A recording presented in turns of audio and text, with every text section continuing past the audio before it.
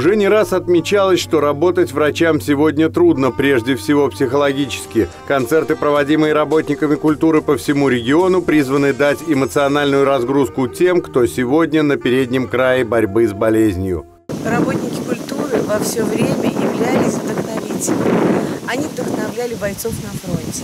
Вот и сейчас мы, конечно, с вами находимся не на фронте. В данный момент, в условиях вот этой пандемии, мы хотим поддержать наших медиков, врачей, медсестер, санитарок. На момент выхода сюжета в Майнском районе зарегистрировано 45 заболевших. Специалисты считают, что расслабляться рано и ситуацию считают сложной. Любые меры санитарной предосторожности не лишние.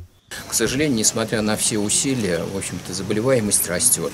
Хотя стараемся держать под контролем, оказывать максимальную помощь всем пациентам, но, несмотря ни на что, в общем-то, на снижение пока не выходим. Все нормы масочно-перчаточного режима соблюдены. Кроме того, выступающие зрители находятся на безопасном расстоянии. В программе задорные народные песни, джазовые инструментальные композиции – все, что нужно для хорошего настроения.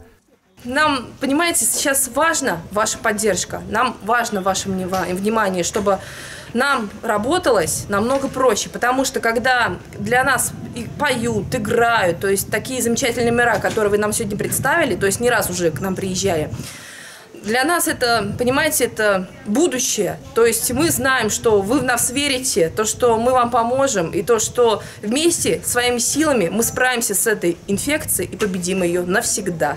Врачи еще раз напоминают всем жителям Ульяновской области. Ограничения самоизоляции сняты не полностью. Введен масочно-перчаточный режим, нормы которого нужно соблюдать неукоснительно. В Ульяновской области официально зарегистрировано больше трех тысяч случаев заражения коронавирусом. Павел Половов, новости Улправды ТВ.